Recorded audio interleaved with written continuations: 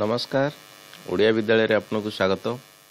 North Korea actually ସବୁବେଳେ ନ୍ୟୁଜ୍ରେ ଏଇଥିପାଇଁ ରହେ ପୁରା ବିଶ୍ୱରେ କାହିଁକିନା ଛୋଟ ଛୋଟ କଥା ପାଇଁ ବହୁତ ବଡ଼ ବଡ଼ ଦଣ୍ଡ ଦିଅନ୍ତି ତାଙ୍କର ଯେଉଁ ପ୍ରେସିଡେଣ୍ଟ ଅଛନ୍ତି କିମ୍ ଜଙ୍ଗ ଉନ୍ ନିଶ୍ଚିତ ଭାବରେ ଯଦି ତାଙ୍କ ପର୍ସନାଲ ବାୟୋଗ୍ରାଫି ଜାଣିବା କିମ୍ବା ତାଙ୍କ ଲାଇଫ୍ ଷ୍ଟାଇଲ୍ ଜାଣିବା ଏସବୁ ଜିନିଷ ଗୋଟେ ଆଶ୍ଚର୍ଯ୍ୟ ପ୍ରକାର ଲାଗିବ। ତାଙ୍କର ସିଏ ଯେଉଁ ଭଳିଆ ଭାବରେ ଏଣ୍ଟରଟେନିଂ ୱେରେ ଲାଇଫ୍ ମେଣ୍ଟେନ୍ କରନ୍ତି ପୁରା ବିଶ୍ୱରେ ଆକ୍ଚୁଆଲି ସେ ଚର୍ଚ୍ଚାରେ ରହନ୍ତି। ବୟସରେ ବହୁତ କମ୍। ବଟ୍ ଯଦି ଆମେ ଦେଖାହେବ ଆମେରିକା ଠାରୁ ଆରମ୍ଭ କରି ରୁଷ ପର୍ଯ୍ୟନ୍ତ କୌଣସି ଦେଶକୁ କିମ୍ ଜଙ୍ଗ ଉନ୍ କିମ୍ବା ନର୍ଥ କୋରିଆ କେବେ ବି ଡରେ ନାହିଁ।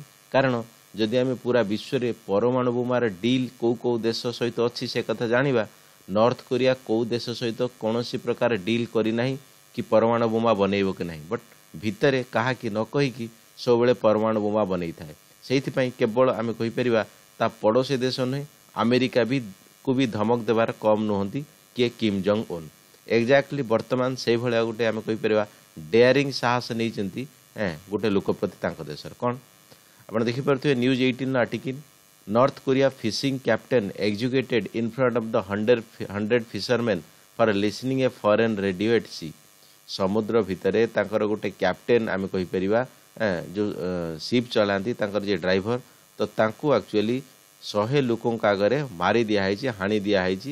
କାରଣ କ'ଣ? ତାଙ୍କର ଭୁଲ ହେଇଥିଲା ଯେ ସିଏ ରେଡ଼ିଓ ଶୁଣୁଥିଲେ ଅଲଗା ଦେଶରେ ରେଡ଼ିଓ ଶୁଣୁଥିଲେ। ଓକେ ଯେମିତି ଏସବୁ ଜିନିଷ ଖବର ପାଇଯାଇଛନ୍ତି ଆମେ କହିପାରିବା ତାଙ୍କର ଯେଉଁ ସାଥୀମାନେ ତ ସିଏ ଡାଇରେକ୍ଟ କଣ୍ଟାକ୍ଟ ଇନଫର୍ମେସନ୍ କାହାକୁ କରିଥିଲେ?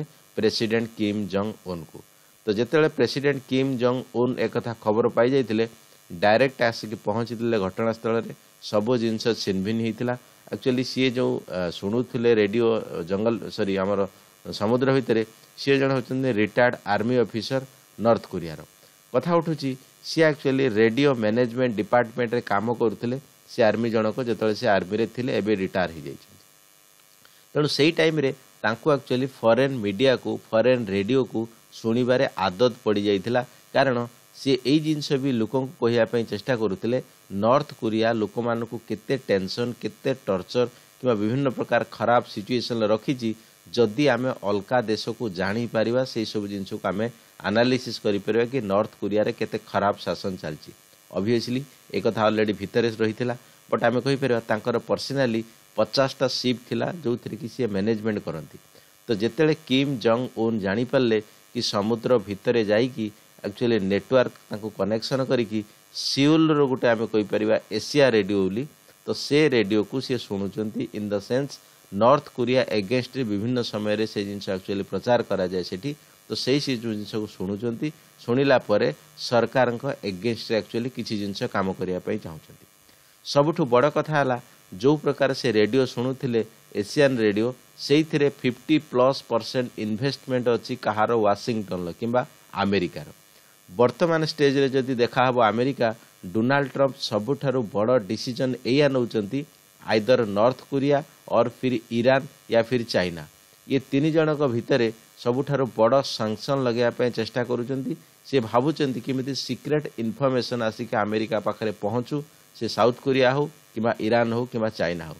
ତ ନର୍ଥ କୋରିଆର ଏଇ ଯେଉଁ ପ୍ରେସିଡେଣ୍ଟ ଅଛନ୍ତି ଆମେ କହିପାରିବା କିମ୍ ଜଙ୍ଗ ଉନ୍ ସିଏ ବର୍ତ୍ତମାନ ଏଇ ଜିନିଷ ଚାହୁଁଛନ୍ତି କି ଯଦି ତାଙ୍କ ଦେଶରୁ କୌଣସି ପ୍ରକାର ଇନଫର୍ମେସନ୍ ଛୋଟଟେ ବି ଲିକ୍ ହୁଏ ତାଙ୍କ ଦେଶ ପାଇଁ ବହୁତ ଆମେ କହିପାରିବା ଡେଞ୍ଜର ସିଚୁଏସନ୍ରେ ପହଞ୍ଚିଦେବ। କାରଣ କିଛି ଦିନ ପୂର୍ବରୁ ଅଲରେଡ଼ି ତାଙ୍କ ଭଉଣୀ ବି ସେଇ ଜିନିଷ ତାଙ୍କୁ ଧମକ ଦେଇଥିଲେ କି ହଁ ତାଙ୍କ ସତ୍ତା କେତେବେଳେ ବି ଯାଇପାରେ କିମ୍ ଜଙ୍ଗ ଉନ୍ର ତେଣୁ ଏଇ ଜିନିଷ ଶୁଣାଯାଉଥିଲା କି ସେ କୋମାରେ ଅଛନ୍ତି କିମ୍ବା ସେ ମରିଯାଇଛନ୍ତି ବିଭିନ୍ନ ପ୍ରକାର ଶୁଣାଯାଉଥିଲା ବଟ୍ ଡେଫିନେଟଲି ତାପରେ ସେ ହସ୍ପିଟାଲ ଅବଶ୍ୟ କିଛି ଦିନ ଥିଲେ ତାପରେ ସେ ବାହାରେ ଥିଲେ। ତେଣୁ ବର୍ତ୍ତମାନ ଷ୍ଟେଜ୍ରେ ସେ କୌଣସି ପ୍ରକାର ରିସ୍କ ନେବାକୁ ଚାହୁଁନାହାନ୍ତି କିମ୍ବା କୌଣସି ଛୋଟ ଛୋଟ ଇନଫର୍ମେସନ୍ ବି ବାହାରକୁ ପଦାରେ ପକାଇବା ପାଇଁ ଚାହୁଁନାହାନ୍ତି।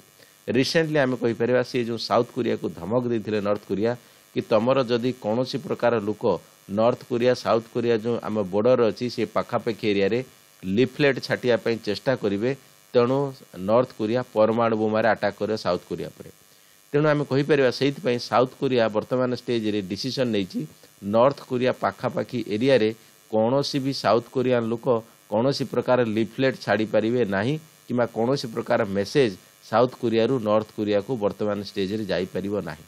ତେଣୁ ନର୍ଥ କୋରିଆରେ ବର୍ତ୍ତମାନ ଏତେ ସବୁ ଷ୍ଟ୍ରିକ୍ଟ ପରେ ଯେଉଁ ପ୍ରକାର ଆମେ କହିପାରିବା ରିଟାୟାର୍ଡ଼ ଆର୍ମି ଜଣକ ପଦକ୍ଷେପ ନେଇଥିଲେ ସାହସ କରୁଥିଲେ କିମ୍ବା ସିଏ ବାହାର ମିଡ଼ିଆ ଶୁଣିକି ଭିତରେ ଲୋକମାନଙ୍କୁ ଆକ୍ଚୁଆଲି ବହୁତ ପ୍ରକାର ସିକ୍ରେଟ୍ ଇନଫର୍ମେସନ୍ ଦେଉଥିଲେ ତାପରେ ବି ଆମେ କହିପାରିବା ସରକାରଙ୍କ ଏଗେନଷ୍ଟରେ କିଛି ଜିନିଷ କରିବା ପାଇଁ ଚେଷ୍ଟା କରୁଥିଲେ।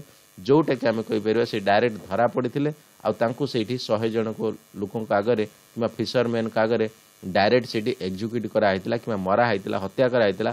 ଗୋଟିଏ ଜିନିଷ ପ୍ରମାଣ କରିଦେବା ପାଇଁ କି ନର୍ଥ କୋରିଆର ପ୍ରେସିଡେଣ୍ଟ କିମ୍ବା ତାଙ୍କର ସର୍ଭେ ସର୍ବା ଯେଉଁ ଭଗବାନ ମନାଯାଉଛି ପ୍ରେସିଡେଣ୍ଟକୁ ତାଙ୍କ ଏଗେନଷ୍ଟରେ ଯିଏ ବି କିଛି ଛୋଟ ପଦକ୍ଷେପ ନେବ ତାର ଯେଉଁ ପରିଣତି କିମ୍ବା ତାର ଯେଉଁ ଆମେ କହିପାରିବା ରେଜଲ୍ଟ ବହୁତ ଭୟାବହ ମାନେ ଏ ଜିନିଷ ଭୋଗିବାକୁ ପଡ଼ିବ ଏ ଜିନିଷ ପ୍ରୁଭ୍ କରିଦେଇଥିଲେ ଡେଫିନେଟଲି ଭିଡ଼ିଓ ରଖିବି ବଟ୍ ତା ପୂର୍ବରୁ ଗୋଟିଏ କଥା ପଚାରିବି କି ଛୋଟ ଏମିତି ଭୁଲ କରିବା ପାଇଁ କିମ୍ବା ରେଡ଼ିଓ ଶୁଣିବା ଯୋଗୁରୁ ତାଙ୍କୁ କୌଣସି ପ୍ରକାର ଶାସନ କଳରେ ରଖାଯାଇ ପାରିଥାନ୍ତା କିମ୍ବା କୌଣସି କୋର୍ଟରେ ତାଙ୍କର ହିୟରିଂ ଚାଲିପାରିଥାନ୍ତା ବଟ୍ ଏ ଯେଉଁ ଡାଇରେକ୍ଟ ତାଙ୍କୁ ଶହେ ଜଣଙ୍କ ଆଗରେ ସମୁଦ୍ର ଭିତରେ ମାରିବାଟା ଠିକ୍ ନା ଭୁଲ ଡେଫିନେଟଲି ଆପଣ କମେଣ୍ଟ ବକ୍ସରେ ଲେଖନ୍ତୁ।